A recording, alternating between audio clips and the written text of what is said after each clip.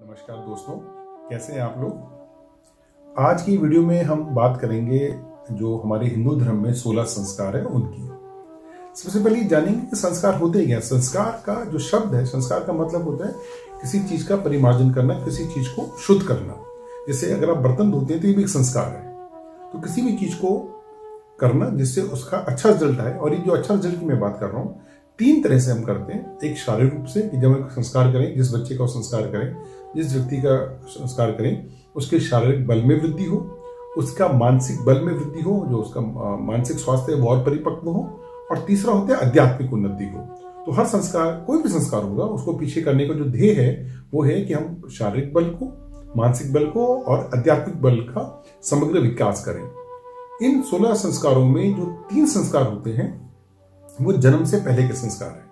यानी बच्चा जब दुनिया में पैदा होता है, उससे पहले गर्भावस्था के दौरान ही तीन संस्कार किए जाते हैं और ये बहुत कम लोगों को पता होगा। बारह संस्कार जो है, वो जीवन पर्यंत चलते हैं। इन बारह संस्कारों को भी अगर मैं सब डिवाइड करूँ तो जो छह संस्कार होते हैं, वो हमारे बाल्यकाल के संस्कार है, हमारे बचपन के संस्कार हैं। जो बचपन में हमारे हमें करनी चाहिए। जो पाँच संस्कार हैं, वो शिक्षा से रिलेटेड है। वो हमारी विद्या से, शिक्षा से एजुकेशन से रिलेटेड है। और एक संस्कार जो है, वो हमारा विवाह संस्कार है। तो जीवन पर्यंत हमारे ये बारह संस्कार, तीन संस्कार मैंने कहा पहले तो बारह, जीवन पर्यंत पंद्रह, और एक संस्कार जिसको हम कहते हैं नाम से स्पष्ट है, अंतिम संस्कार, जो जीवन के बाद। तो इस तरह से अगर हम देखें तो तीन संस्कार जीवन से पहले, बारह संस्कार जीवन पर्यंत, और एक संस्कार जीवन के बाद। तो ये सोलह संस्कार हुए, जो जीवन पर्यंत बारह संस्कार है, उसको हमने फिर सब डिवाइड किया। छह संस्कार बचपन के बाल्यकाल के संस्कार पाँच शिक्षा काल की और एक हमारा गृहस्थ जीवन का संस्कार, जिसको विवाह संस्कार कहते हैं। तो अब हम एक एक करके इन संस्कारों की बात करते हैं। तो जो पहला संस्कार है, उसे हम कहते हैं गर्भाधान का संस्कार, और मेरे मानने में ये सबसे ज़्यादा ज़रूरी संस्कार है, क्योंकि जब माँ के पेट में गर्भ धारण हुआ, वो सबसे इंपॉर्टेंट समय होता है। अब देखिए, मैं कहता भी हूँ अपनी बहुत कक्षाओं में कि अगर आपने एक आलू का परांठा बनाया, आपने आलू की स्टफिंग की तो वो आलू का परांठा बन गया। और आपने पनीर की स्टफिंग की तो पनीर का पराठा बन गया। अब पनीर का पराठा बनाने के बाद आप चाहें कि आलू का पराठा बने तो नहीं बन सकता।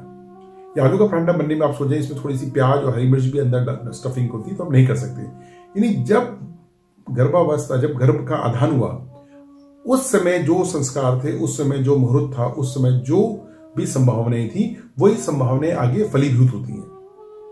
तो गर्भाधान का संस्कार से मतलब है कि जब भी पति पत्नी चाहे कि, अब हम वो चाहें कि वो परिवार बढ़ाना चाहते हैं तो वो एक अच्छा मुहूर्त देखें। अच्छा मुहूर्त का मतलब होता है, उनकी मनोदशा अच्छी हो। मतलब जो फर्टिलाइजेशन है, जो बच्चे का जन्म है, वो एक दुर्घटना ही होनी चाहिए।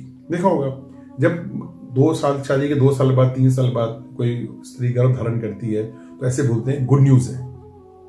और जब कभी किसी, बिना किसी विवाह के बंधन के कोई गर्भ धारण करता है तो हम कहते हैं दुर्घटना हो गई। तो शारीरिक चीज़ एक ही है। तो जब भी गर्भ आप चाहते हैं कि आपके अंदर एक शिशु, एक का आप जन्म के लिए आप तैयार हैं तो उस टाइम आपकी मनोदशा पति पति की मनोदशा बहुत अच्छी होनी चाहिए। वो अपनी कुल देवी का प्रणाम करें, वो अपने पितरों का आह्वान करें। कोई हमारे शास्त्रों में कहा भी गया है कि पितृ ही हमारे यहाँ जन्म लेते हैं।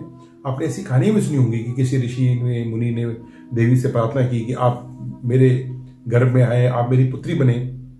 तो जब भी आप सोचते हैं कि now this is time to expand the family तो यहाँ पर किसी पंडित की ज़रूरत नहीं है। बस आपका जो मनस्थिति है, वो अच्छी होनी चाहिए। जो मनस्थिति है, वो संतान जन्म के प्रति होनी चाहिए। It should not be a sexual act it should be act of lust it should be act of a very pure nature कि आप मंथली भी त्योहार हो, आपके जो सर, मैंने कहा कि आप भगवान को नमन करिए, अपने पितरों को याद करिए, और तब ऐसी अवस्था में आप प्रार्थना करिए कि जो भी आत्माएँ चारों तरफ़ है, जो भी शरीर लेने को चाहिए तो एक अच्छी आत्मा इस शरीर में आए तो इसको हम गर्भाधान का संस्कार कहते हैं। ये हमारा पहला संस्कार है, और जब अच्छी आत्मा शरीर में प्रवेश करेगी तो एक अच्छे बालक या बालिका का जन्म उस गर्भ से होगा। तो ये बहुत इंपॉर्टेंट है तो आज के लिए इतना ही। अगली वीडियो में हम दो अगले संस्कारों की बात करेंगे। धन्यवाद।